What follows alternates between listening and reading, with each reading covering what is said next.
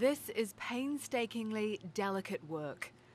These scientists have been cultivating, dividing, and sequencing fat cells for years. But now they say they've made a breakthrough which could change the way obesity is treated.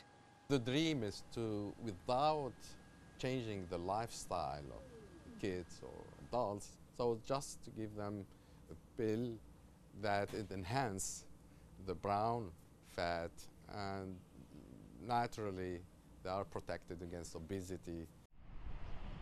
Having more of the so called brown fat actually makes you skinny.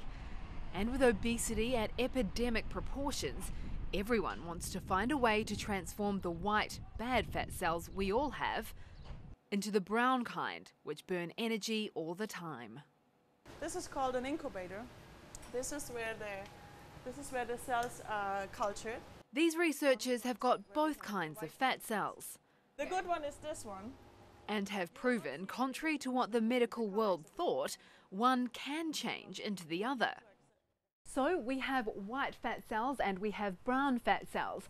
Figuring out how to transform one into the other is one thing, but taking that information and turning it into a possible treatment for obesity is quite another.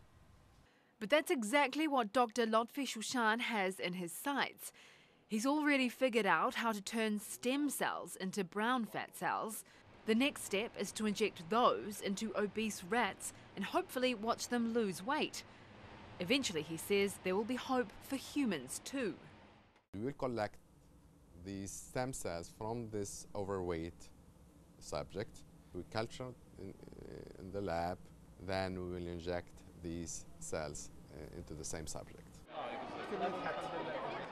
Diabetes sufferer and doctor Medhat Ibrahim isn't convinced. Research showed that if you are uh, obese and pre-diabetic, if you do diet and exercise, at least 70% of, of, of, the people do not develop diabetes.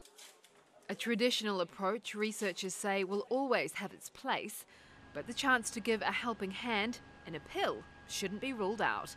Kim Vanel, Al Jazeera, Doha.